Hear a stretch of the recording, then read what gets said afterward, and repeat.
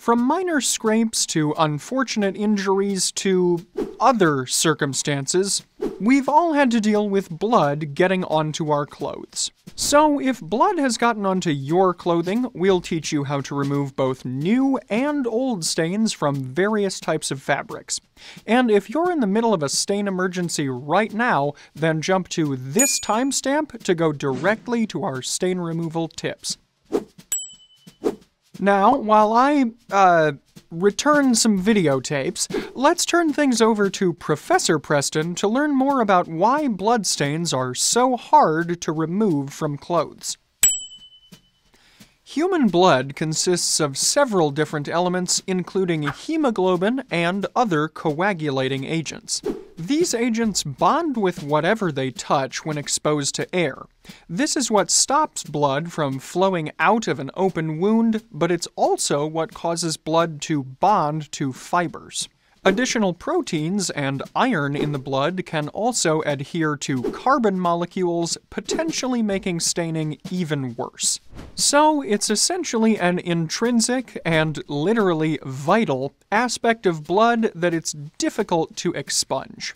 What, will these handkerchiefs ne'er be clean? Well, let's turn it back over to regular Preston to find out.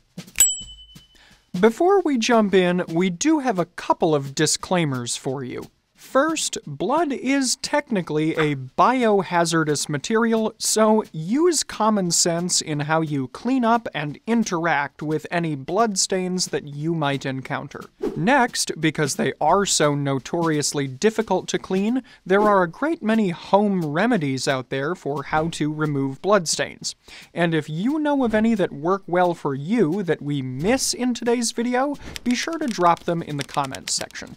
For today's video, though, we're employing a graduated approach that ramps up the intensity of the cleaning regimen, consummate with how difficult or severe the bloodstain would be to remove. We'll start with small, fresh stains and work our way up to large and dried-in stains. So you can use the chapter selection feature to choose the type of bloodstain that you're trying to clean. And as always, if you're worried that one of our stain removal techniques might damage your fabric, you can test the technique on a hidden portion of the fabric first. Finally here, you might notice that most of the stained areas we're trying to clean today are on the small side. This is simply because I've had to, well, supply them myself. So, hey, never let it be said that I don't make sacrifices for our audience.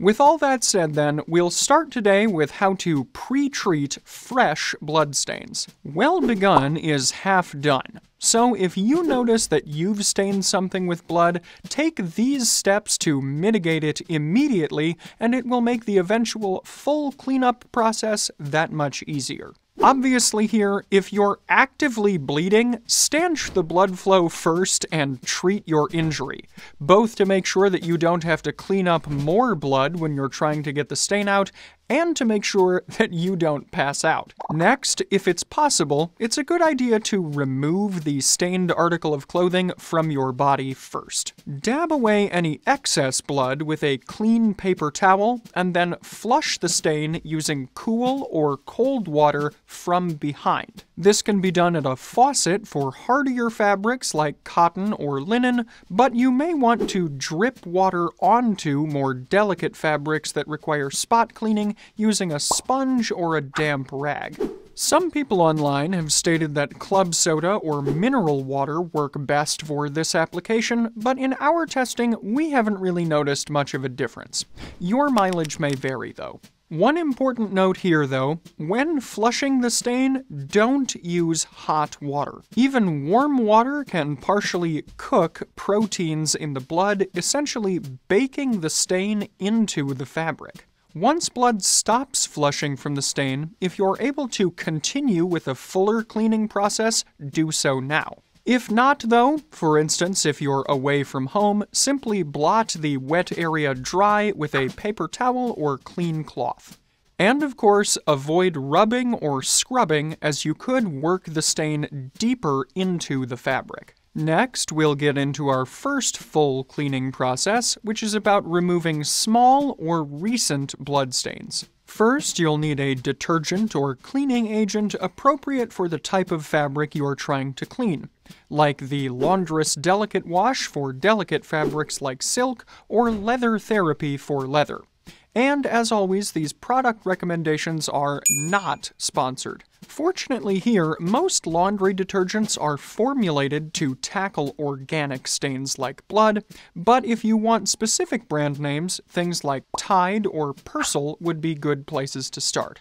Unless this conflicts with the cleaning product's instructions, it's best to apply the product directly to the stain using a bit of water to activate it. Next, using your fingers, a brush, or the fabric itself, work the detergent gently but deeply into the fabric. For delicate or knitted fibers like wool, you might be able to do this using a soft brush, but if you don't want to risk bruising or pilling these fibers, you might prefer to simply soak the garment instead. And on that note, you can learn more about properly caring for knits and sweaters in our full video on the subject here.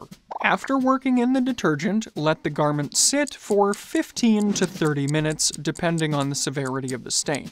If the stain appears to be gone or greatly reduced, you can rinse the fabric and then wash it according to the garment tag's instructions. But don't put it in the dryer until you're sure that the stain is gone, as the heat from a dryer can definitely cook a blood stain. And if the stain doesn't appear to be gone after going through these steps, it's time for a more targeted approach. This brings us on to our second process for stains of medium removal difficulty and older stains. This process will work best for stains in white or neutral fabrics, where they tend to be seen even more easily, stains of medium size, and stains that have been around for a while. To release these stains, we need to remove the chemical elements that are bonding the blood to the fabrics, so we'll have to use specialty cleaners with enzymes in order to do this. We recommend trying products like the Laundress Stain Solution, Method Stain Remover, or Dirty Labs Bioenzyme Booster. Follow the instructions you find on the label for each of these products, and while most of them should be safe for spot cleaning even delicate fabrics, it's also best to read garment tags if you have them to see how they correspond to these cleaners. And if you don't have access to any of these specialty cleaners, you can also create a comparable solution at home using hydrogen peroxide. But be aware that this process won't be suitable for delicate fabrics and is more likely to discolor darker fabrics, so proceed with caution here. First, apply a thin coat of hydrogen peroxide directly to the stain, and then let it sit for about 10 minutes. Then dab away excess liquid to lift away the stain. Repeat this process until the stain is gone or until blood stops releasing from the fabric. Now, if your blood stain is still persisting, we're entering Lady Macbeth territory and we're going to have to take more drastic measures. This brings us to our third cleaning process for large or set-in and dried stains. This final method, which is designed to tackle thoroughly dried in stains or just very big ones, is designed to tackle both the chemical compounds that bind the blood to the fabric while also very slightly bleaching the fabric at the same time. This then is a heavier duty procedure that may not be ideal for all fabric types. So if you're worried about ruining a delicate fabric, it might be a good idea to simply take it to the dry cleaner for professional cleaning before attempting this process yourself. To begin here, old bloodstains will often exude a crust over the stain. So if you see this crust, it's best to scrape it off with a dull knife. Next, soak the garment in a diluted bath of oxygen bleach or bleach alternative. We suggest trying OxiClean, Ecos Oxo Bright, or the Laundress All-Purpose Bleach Alternative. Follow the instructions on each of these products and make sure that you're not using conventional chlorine bleach. This might further interact chemically with the bloodstain and actually make it worse. And if you don't have access to these cleaners, you can again make an at-home substitute. Do note that this one might damage your clothes though, so if at all possible, we do recommend buying a dedicated product first. If that's not possible though, you can take one tablespoon of household ammonia and dilute it in one half cup of water. Then apply this solution to the stain and let it sit for 15 to 30 minutes. Hand wash the garment until the ammonia smell dissipates and repeat this process until the stain is gone or not responding any further to treatment. Keep in mind also that if you're confident that the fabric can stand up to this, you can also combine some of the treatments we've outlined today. For instance, using the soaking method we outlined in the third process and then following it up with the second process. But if you've tried all of our processes and the blood stain is still present, then it is probably time to go to the dry cleaner to seek professional help in getting out out that danged spot.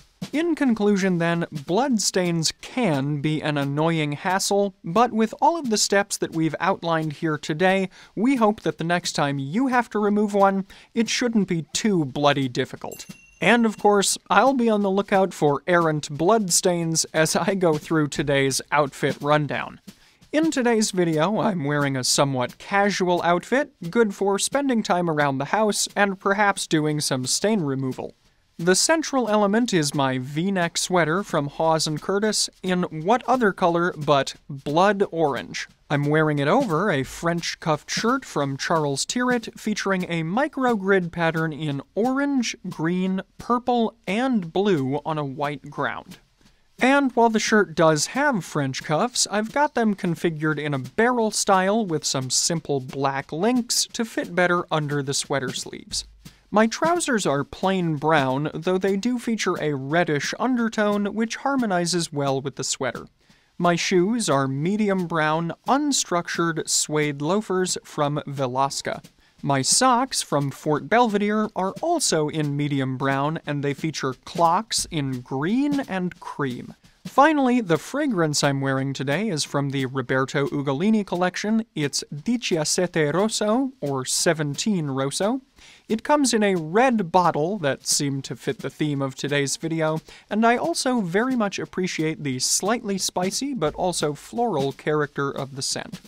So, for the socks I'm wearing in today's video, a wide array of other classic men's accessories, corduroy trousers, and fragrances from the Roberto Ugolini collection, you can take a look at the Fort Belvedere shop here.